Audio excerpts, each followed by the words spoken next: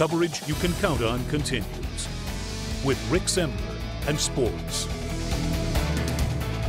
Welcome back. The Sycamore men's basketball team had a tough season opener Tuesday at a very good Ball State. The two in-state rivals met in Muncie. ISU feeds Devin Thomas in the post. The big fella turns, banks too high, too high off the glass for the good guys.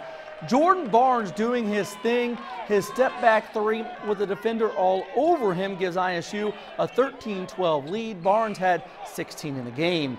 Jordan doesn't get enough credit for his defense. He's sneaky quick. His steal and layup ties the game at 19.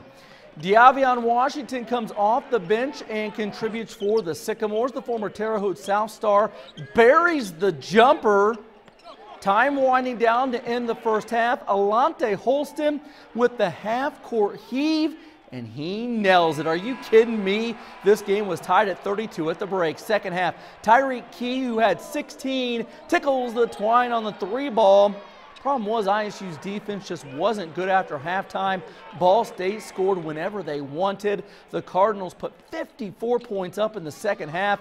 The Sycamores dropped their opener 86-69. Sycamore's head coach Greg Lansing wasn't happy with what he saw from his team. I was surprised uh, they were that much more physical than us, or we allowed them to be that much more physical, and that's disappointing. I didn't think they would be. I thought it'd be pretty equal physically on both sides, and I think it was in the first half.